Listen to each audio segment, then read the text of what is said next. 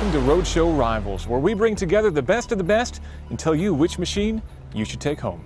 Today it's sports sedans, and we are graced by the presence of two cars that epitomize the breed BMW's iconic M3 and the Mercedes AMG C63. But that's not enough. Not for you. We've also brought the Cadillac ATS-V, a car that was seemingly purpose-built to knock these Teutonic titans down a peg or two. We're going to be testing these cars on the road, out here on the track, and at the end, we'll crown a winner.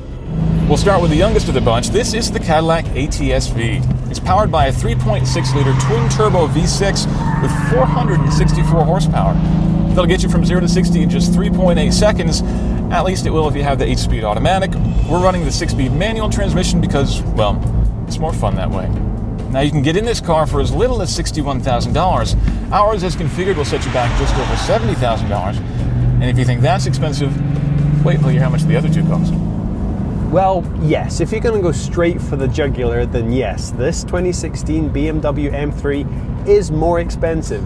A baseline of $63,000 expensive, and this one is spec'd all the way up to $81,425. But for that, you're getting a badge with the most proven track record in this sector and the best German engineering money can buy.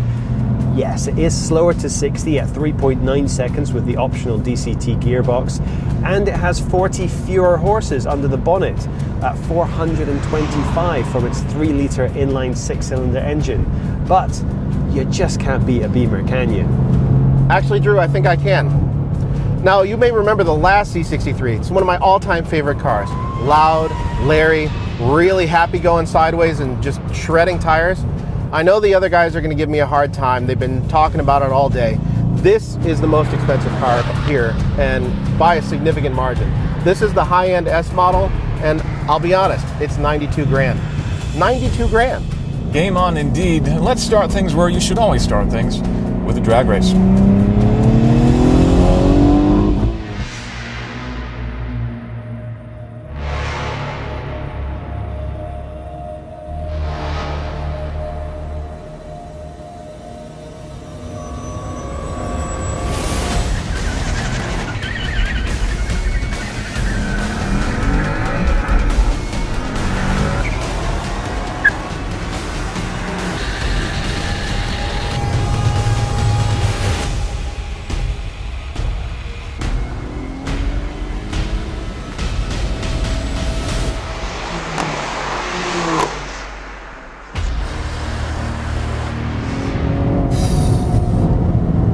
Almost beat the Mercedes, but I did get the BMW. That's uh, that's something to be proud of, I think. Now we're going to do a lot more performance testing, so stay tuned for that. But we also want to give you an overview of the interior technology. Drew is going to go through that, but first, Chris is going to give you a walkthrough of the design of these cars.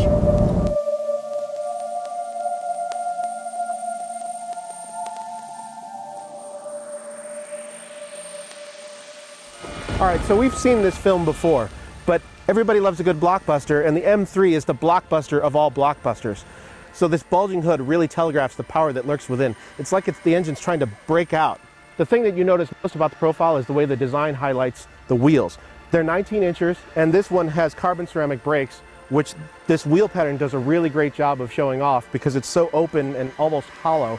And you can see the gold calipers. It tells everybody how much money you spent on them. So you wouldn't expect the rear fenders to be special on a car, but in this case, they're the showpiece feature. They're flared, and the BMW is the only car in this group that gets its own unique rear fenders. That's really, really expensive, but it also tells you that it's important to BMW to telegraph that this is a rear-wheel drive car and it's got real road presence. So the C63 is based on the C-Class, which everybody acknowledges looks a lot like a shrunken down S-Class. Now that's a very fine thing. That's not an unattractive car, but it also means that there's a lot of work to be done to make it look like a high performance machine. All right, so this is still very clearly a Mercedes-Benz. I mean, look at the logo size. It looks like it stretches out onto the hood, except you know what? They put another logo up there. The profile of the C63 AMG is pretty much garden variety C-Class, which means it's got a clean body side but they've tried to tack on a little bit of frosting here and there to make you realize it's special. Unlike the BMW, there's no huge bulge in the hood. So everybody needs to know what you're driving. And right here on the side, V8 biturbo very clearly says, mine's bigger than yours. So if you're not sure if you want to fully commit to the sports sedan thing, or if you've got a spouse that you've got to sneak a car by, this is probably the one to do it with because it's the one that looks most like a luxury sedan and least like a sports sedan. This is the Cadillac ATS-V, as if you need me to tell you that. This is the most distinctive looking car here. It's one of the most distinctive looking cars on the road. That's because Cadillac has the craziest styling language of any mass market brand. It's all hard lines and angles. Nothing else looks like a Cadillac on the road today. The whole front end of the ATS-V says, I need to breathe. It's got huge air intakes down low. It's a layer cake of chevrons it's pointed, it says I'm going down the road and I'm gonna get there ahead of you. Like the front end of the ATS-V, the back end is drawn to a point as well. And that's rammed home by everything from the trunk lid to this massive rear spoiler on the top. And it may not be for everybody, but that's precisely the point. For right now, this is the most aggressive car here, and it's the one that's probably gonna get the most attention.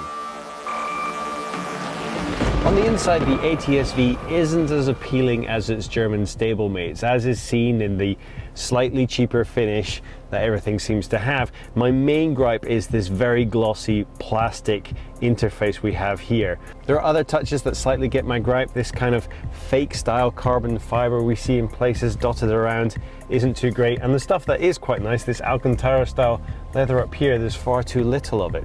There is one thing particularly unique about the ATS-V that I do like a lot. A slight swipe of the finger here reveals a hidden compartment for your phone that not only has air conditioning in it to keep your device cool, it has an induction charging plate there. If your phone is compatible and it fits, that could be an exceptionally handy little feature to have.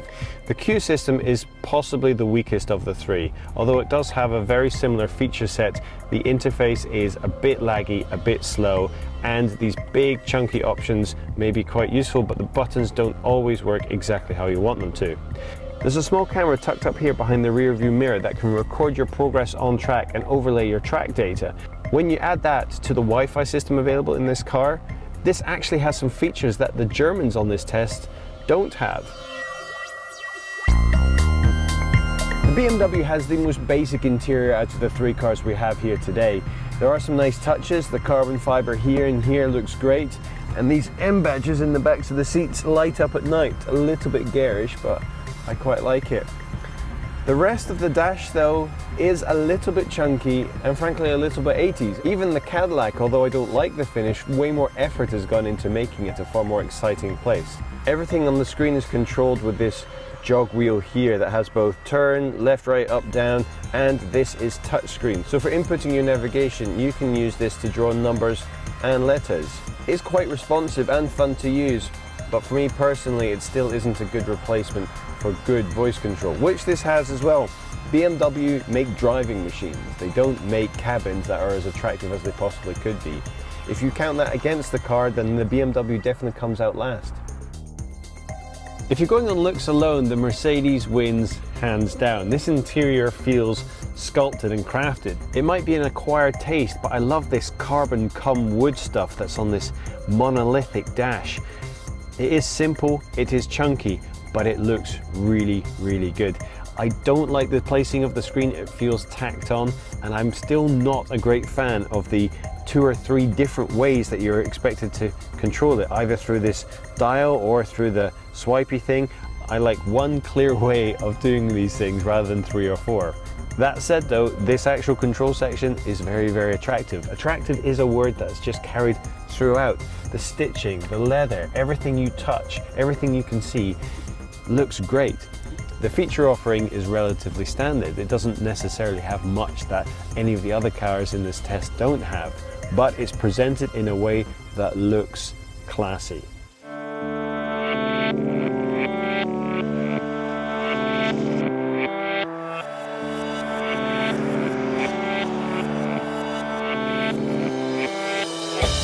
All right, so we're on a winding road in the ATS-V, and the first thing you notice feels tight, feels light, feels good. And while it has plenty of power in all the right places, one thing it doesn't have compared to the competition is noise. It's really quiet, even when you get on it. In isolation, sounds all right, especially from behind you, but inside the car, it really doesn't have that auditory feedback that you want. It's got good chassis feel, it settles down very well when you go over rises just like we just did. And it also has good steering feel. You can point the wheels and they go exactly where you want them to, and you can also feel what the tread blocks are doing. Sometimes it's easy to fix a problem when you're developing a car. If You have a cheap interior, you throw more money at it, you get better plastics. But when it comes to chassis development, that's sort of a black art, and it's something that not everybody gets right, but Cadillac has nailed it here.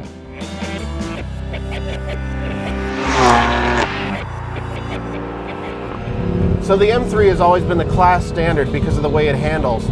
And on some level that's still true with this car, but you have to fiddle with a lot of buttons in order to get it exactly right. There's three different modes for the steering, there's three different modes for the throttle response, three different modes for the dampers, and that's just a lot of fiddling to do on a day in, day out basis.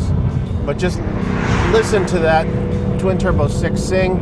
It handles beautifully. You just want a little bit more eager turn in, but this is among the lightest cars here, and it feels it on these roads. So let's talk about chassis balance for a minute. The M3 compared to most any other vehicle is great, but then when you put it next to the Cadillac, it's just missing a little something. And I don't know if it's just that the Cadillac is a little bit tighter of wheelbase and a little bit more eager to change directions, but the transient responses with the M3 aren't quite as good as with the Cadillac. And that's a shocker.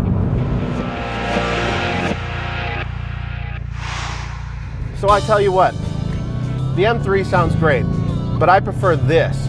The, there's nothing like a V8 sound, forced induction or no, and this has it all going on all the time. It's never quiet. Even when you've got the exhaust switched off, it's still loud, it's still there, and it's just a reminder that you're in something wonderful. So on the track, as we discovered, this is not the finely tuned scalpel you might want all the time. It's sideways, it's loud, it's shredding tires. On the street, that is kind of what you want, honestly, because it lends a sense of occasion to whatever you do, whether you're pulling away from a stoplight and you're smoking the tires and you're making the engine sound as great as it can. I mean, listen to this. It's fantastic. And the brakes? The brakes are really good in this car. So listen, this is the biggest car here. You might think it would be clumsy on a mountain road or on a windy road like this one, but it actually sits really well. Because the suspension is so firm, everything feels pretty dialed in. And you can go around a corner and you can actually feel as you go around the corner what the tires are doing in a way that you simply can't in the M3.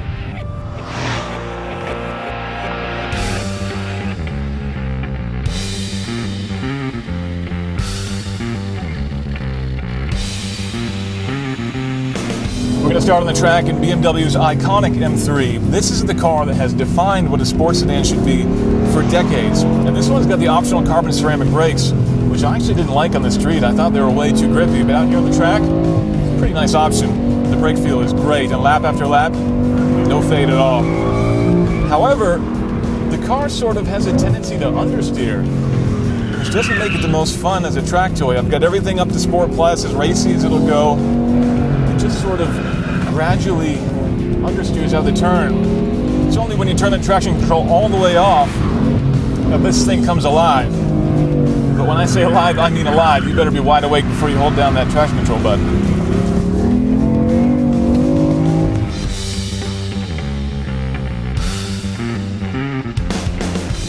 Next up is the Mercedes AMG C63, which we've already identified has the nicest interior. It also has the nicest seats for going on track.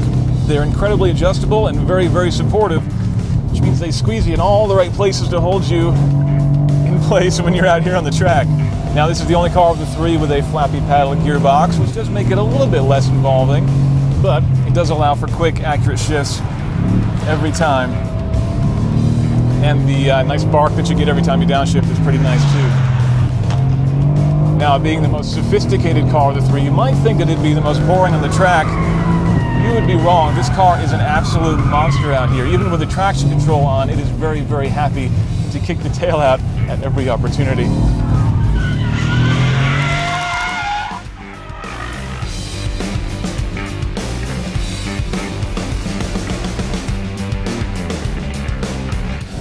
Now, last but certainly not least is the Cadillac ATS-V, and this is going to sound a little weird about a Cadillac, but it's probably the best balanced of the three.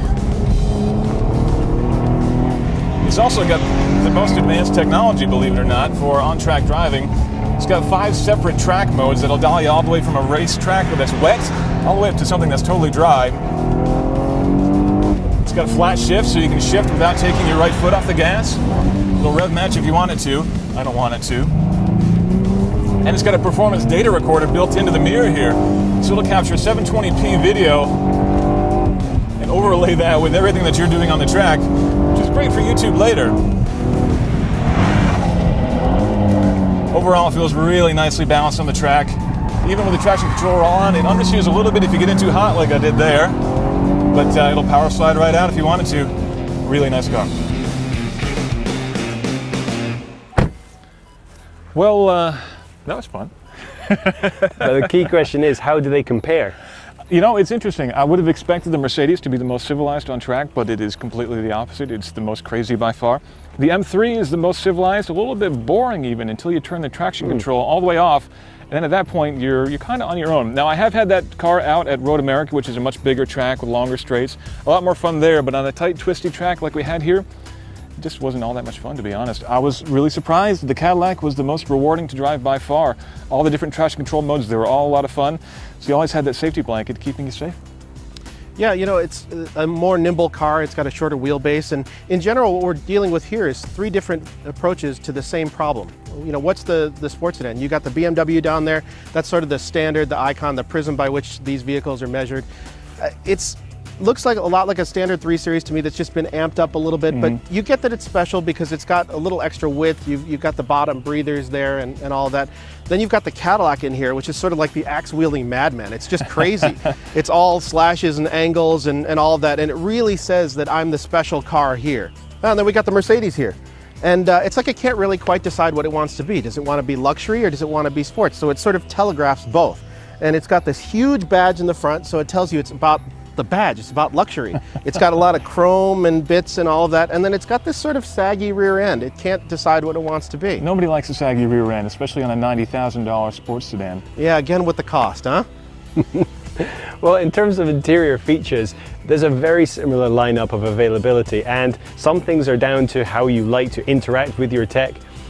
But in terms of aesthetics, the Mercedes wins hands down. The best looking interior of the bunch, without shadow of a doubt. The BMW they are harking back to the 80s with a lot of the design cues, big chunky buttons, the old LED style displays. It's an acquired taste, but if you have it, it's spot on. The actual aesthetics of the Cadillac are horrible. The, the gloss plastic finish is just a fingerprint magnet and it feels very, very cheap. And the CUE system is not great. It's not great. You're being very polite. Yeah, it's, it's, it's, it's not amazing. But if you add into the fact that it has some great extra features, that forward-facing camera with the track data overlay, really cool. Having a, a, power outlet in the back, if you're a business customer who's going to be using this every day, that's going to come in handy. And having that 4G LTE system on board Wi-Fi, well, we've been using it loads while we've had All these the cars. It makes it really hard not to count this car as the most feature-packed of the bunch. I have to give it to the ATS-V. Wow, that's uh, that's surprising. All right, so design, you're going Caddy as well? Uh, you know, I am going to go with the Caddy because it feels the most special, and a lot of these cars are leased, right? So they're short-term purchases, and this feels like the most of-the-moment car. I don't know how well it's going to age, but for right now, it looks fantastic. It's also the cheapest of the bunch. By a fair margin, yeah. Does that mean we have a winner? We might have to go that way. If factoring the cost, then I can get over a lot of its foibles. I, I think I think we might have chosen the Cadillac as the best. It's the best on the track. A lot of tech inside. I didn't see that coming. Actually, I didn't either. So there you have it, a surprise winner of Roadshow Rivals, the Cadillac ATS-V.